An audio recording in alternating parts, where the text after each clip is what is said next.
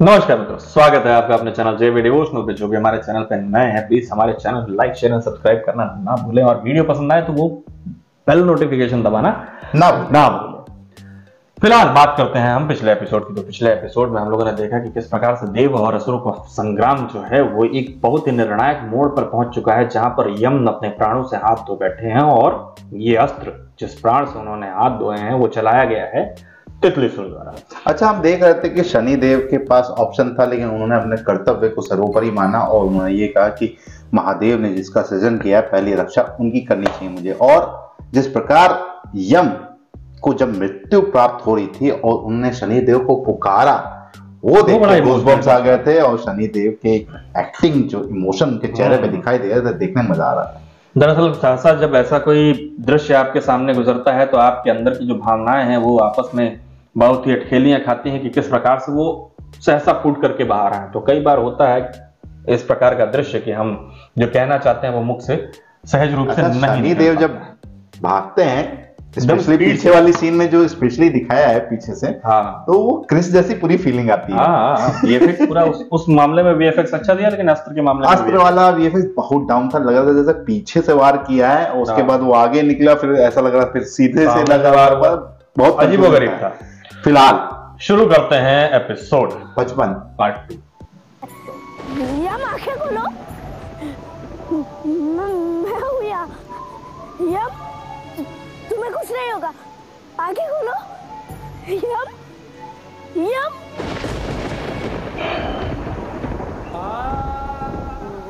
नहीं। ऐसा नहीं हो सकता। देख रहा है एक्टिंग भाई मैं तुम्हारी सुरक्षा के लिए आया था, यम। मैं माता की आशा नहीं तोड़ सकता, यम। यम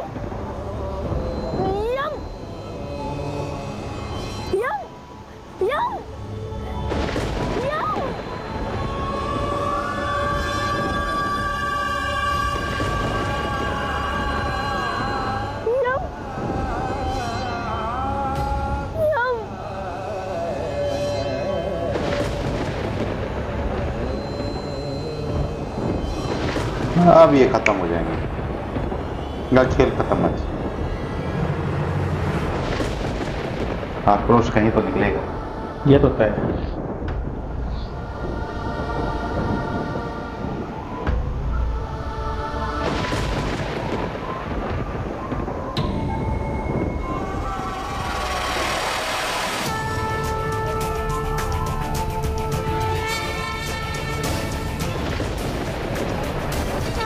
अभी दृष्टि से पहला पड़ा नहीं है।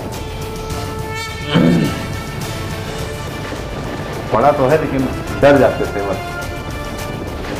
आज खेल खत्म ही हो जाएगा।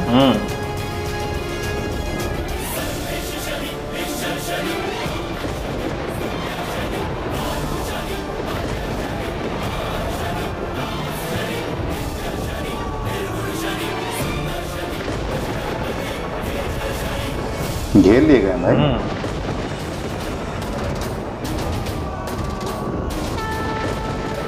ठंड आएगा क्या? भाई। इमेजिन नहीं किया था मैंने। आयु गजब। गजब। अब आएगा मज़ा।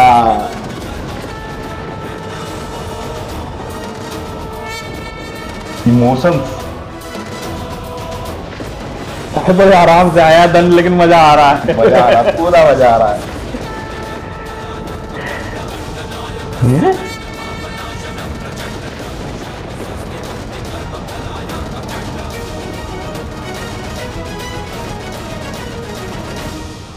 आज तुम असुरों का नाश होगा। भाई हो गई इंद्रदेव की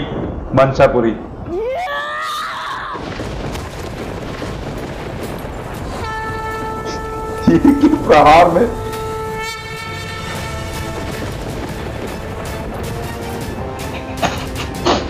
तितली उड़ी।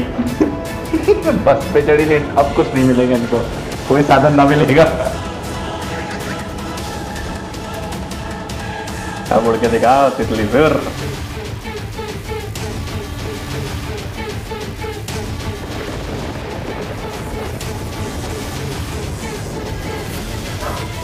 सूर्यदेव कहाँ चले गए? ये तो मतलब बहुत ही इम्पोर्टेंट सीन था। बहुत इम्पोर्टेंट सीन था।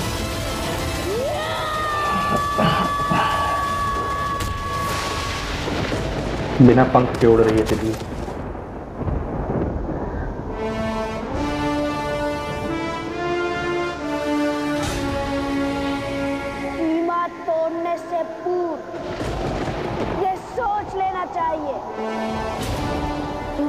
परिणाम क्या होगा?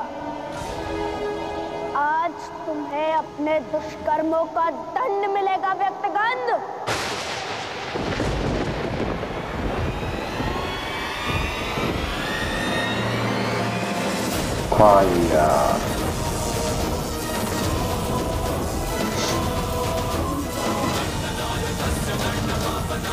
टुकड़ा टुकड़ा करेंगे तुम्हारा।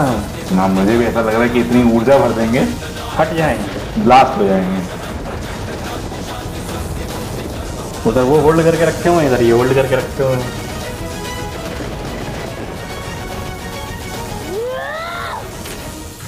फट गया भाई। फट गया कैपेसिटर बना दिया उनको उन्होंने। कैटरपिलर से कैपेसिटर हम लोगों ने सही इमेजिन किया। और इस दंड का पात्र केवल व्यक्तगंध नहीं बल्कि तुम सब हो।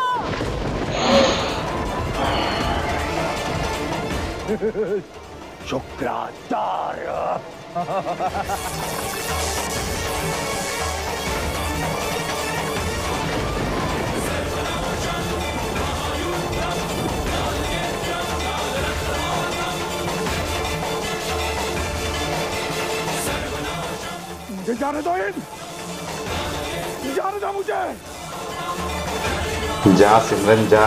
मैं शनि को रोक सकता हूँ वही तो मैं नहीं चाहता शुक्राचार्य। आज शनि रुका तो असुरों को समाप्त कर देने का मेरा स्वप्न भी रुक जाएगा। इनके टारगेट मल्टीपल रहते हैं भाई। कोई भी एक तो पूरा हो ही जाएगा है? या तो मनुष्य मर जाए या तो राक्षस मर जाए या तो शनि मर जाए। का विनाश हो जाएगा वो भी शनिदेव के हाथ असुर का कोई मनुष्य नहीं बचेगा।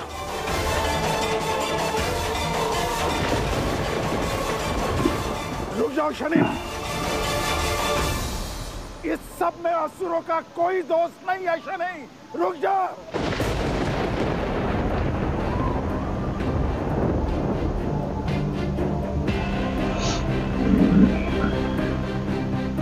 महादेव के सृजन पर आक्रमण असुरों ने किया। यम का वध असुरों ने किया। और आप कहते हैं कि उनका कोई दोष नहीं। तो फिर दोष आपका है, शुक्राचार्य।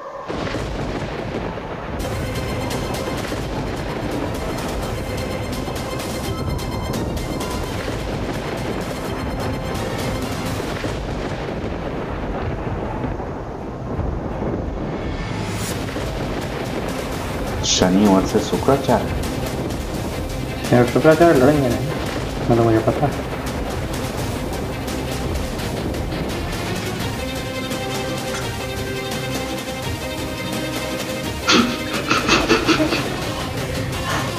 जब इस आक्रमण की योजना बनाई गई, मैं अनुपस्थित था शनि। मैं अपने तप में लीन था। व्यक्तिगत पथ भ्रष्ट किया गया। उसने ऐसा होने दिया, ये उसका अपराध था। तुम अपराधी को दंड दे चुके हो शनि।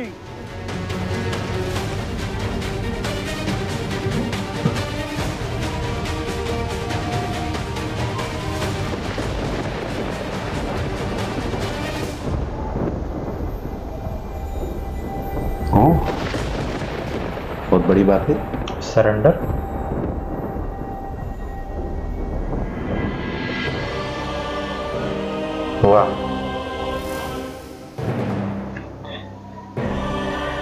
परंतु अपने शिष्यों के दुराचरण के लिए गलती है ना? उनका गुरु उत्तरदायी होता है। यदि तुम्हें प्रतीत होता है कि मैं दोषी हूँ तो मैं दंड पाने के लिए सज्ज हूँ शनि।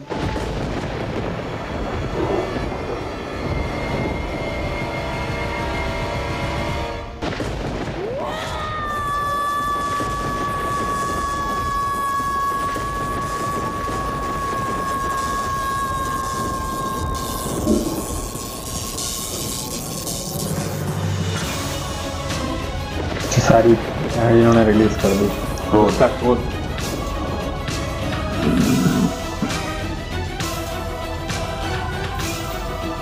ओ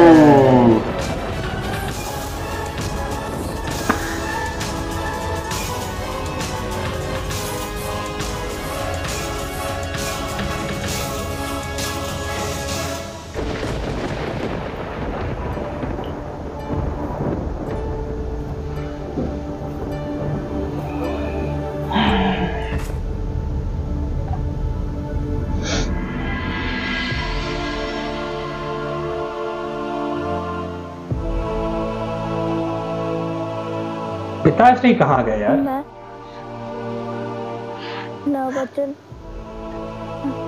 नहीं निभा पाया माता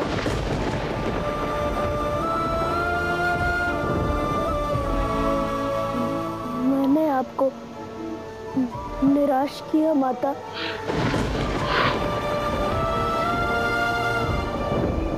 मैं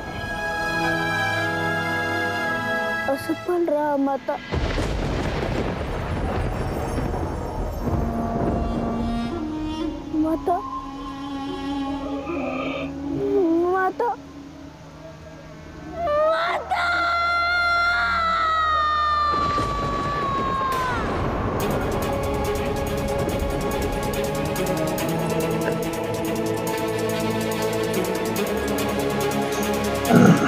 बताओ मन देवी छाया।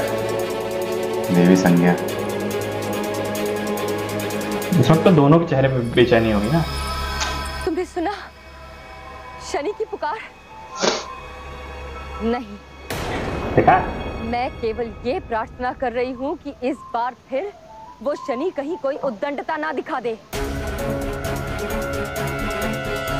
तुम्हें अब भी शनि पर विश्वास नहीं? नहीं।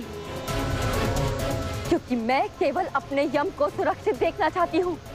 और उस शनि के वहाँ रहते मुझे आभास हो रहा है। शनि यम को साथ लेकर लौट रहा है।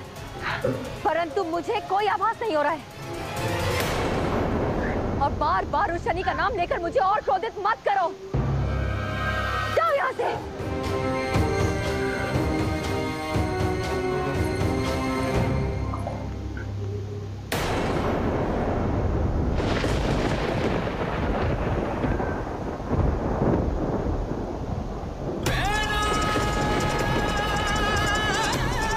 शनिदेव